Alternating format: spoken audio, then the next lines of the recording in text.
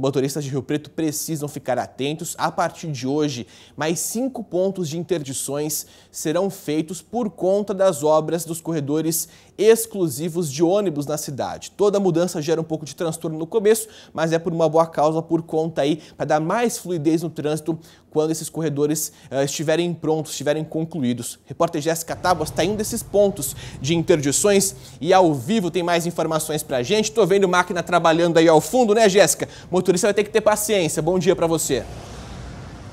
Vai, Corinthians! Bom dia, Casa Grande. Bom dia a todos que nos acompanham. Vai sim, viu, trafegar pelas ruas da cidade durante essa semana requer paciência e também planejamento, viu? E olha só, um desses locais é onde nós estamos aqui na Avenida João Bernardino de Seixas, bem no final do pontilhão que dá acesso à região norte, sentido bairro centro. Aqui, como a gente pode ver, está parcialmente interditado, né? E a saída para quem precisa utilizar esse caminho é virar na rua Manuel Pereira. Outro local que também está interditado é a Avenida Elias Tarraf, entre a rua Antônio Jacob e a Avenida Antônio Antunes Júnior, no sentido Jardim Marajó para o Jardim Maria Lúcia. Na mesma via e sentido, haverá interdição parcial entre as ruas Adelina Moretti e Alexandre Marini. O trânsito também estará restrito à faixa aí da esquerda, viu, Casagrande?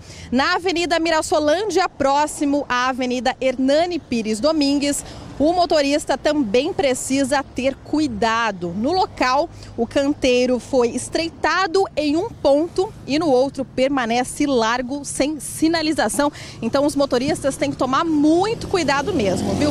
Bom, já na rodovia Washington Luiz, o trânsito está lento durante o dia nos dois sentidos, no trecho entre Rio Preto e Mirassol por conta de recapeamento.